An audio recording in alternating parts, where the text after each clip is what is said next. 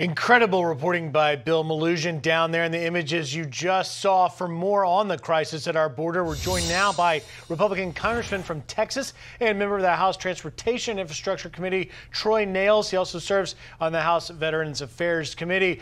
Congressman, you just heard and saw the report there from our own Bill Melugin. Just incredible stuff. As he pointed out, it's something I've never seen before. He's never seen before. And I've been covering the border for more than a decade. I want for our viewers to get some context. You came and joined me back in April, some five months ago, in that same very area, Del Rio, Texas. Here is what we uh, saw and what you told me then. Listen.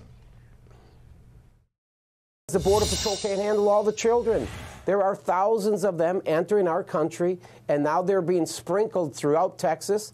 And pretty soon they're going to come to a neighborhood in a small town, small community near you.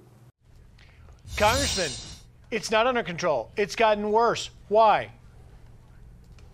Well, uh, thank you for having me, Griff. It's because there's a crisis at our southern border. Remember, DHS Secretary Mayorkas said the border's closed. That's a downright lie. He's in denial. But understand this this administration, this president, has been coaxing people to enter our southern border for the last nine months and even prior to his uh, inauguration. When he was a candidate, he was encouraging people to enter our southern border. And now we've had people from well over 100 countries uh, 1.2 million people enter our southern border, and he's telling those people, come on in, the border's open. Oh, by the way, don't worry about COVID, whether you have it or whether you don't. Don't worry about any other type of disease, because once you get here, we're not going to test you. The testing and the mandatory vaccines and stuff only apply, the travel restrictions only apply to the American people. We'll make sure it doesn't apply to you. And, and don't worry about having any money because we'll take care of you there. We're going to line your pockets with some cash. We're going to make sure that you're able to participate with some of our programs here. We're going to educate your children. We're even mm. going to educate your kids going to college. Yeah. We're going to educate your kids going to college. And I am, don't remember, don't, don't forget, who I am. My name is Joe Biden, and I approve this message.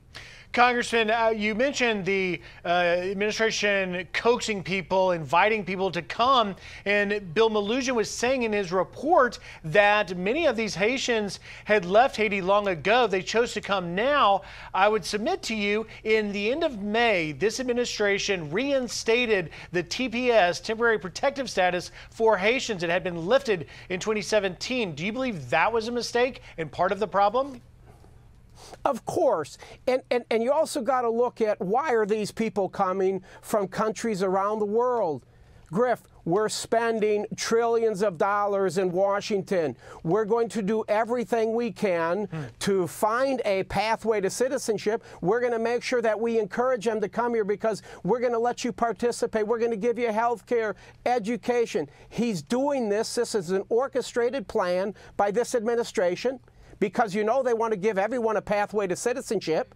And this administration has put the American people last. He is doing mm. more for the migrants underneath the bridge in Del Rio than he is for the people under the bridges in Washington, D.C., Houston, and Baltimore, the homeless. Yep. And many of those are veterans and they're Americans. It's disgusting. That's an interesting point. Congressman Troy Nehls, thank you for taking time. You talked about spending trillions. We'll have you back again after you guys start tackling that infrastructure bill. Congressman, thank you very much.